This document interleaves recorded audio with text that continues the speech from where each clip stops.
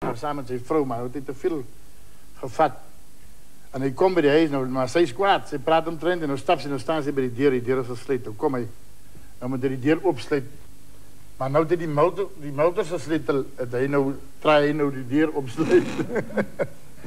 nou sê, nou wil sy niks nie. Sy kyk hom nou, hoe lank hy nou so sukkel.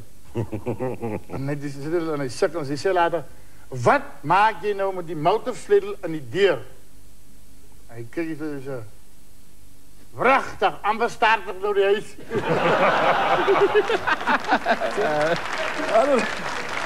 Ander dag môre.